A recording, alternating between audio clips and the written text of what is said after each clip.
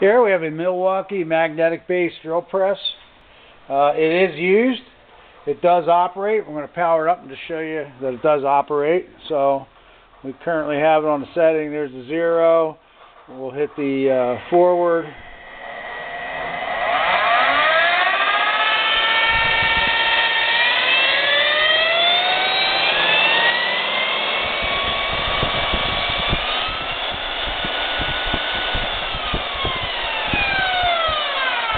Hit the E-stop, and we'll hit reverse.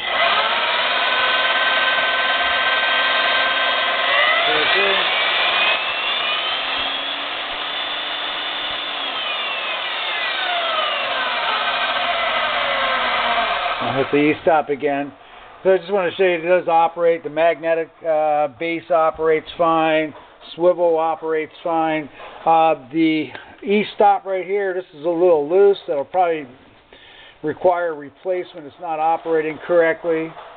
Okay, and then we have the the arbor right here. We're not sure what's going on there, but I know there's a uh, there's a piece that is missing under here.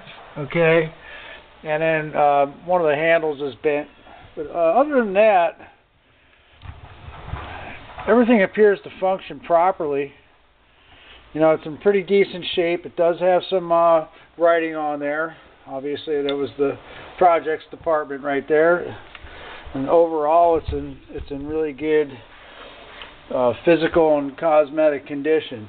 Um,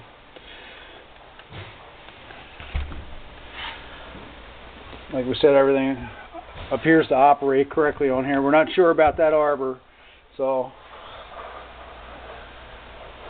we're gonna sell it as used, and it may need some parts.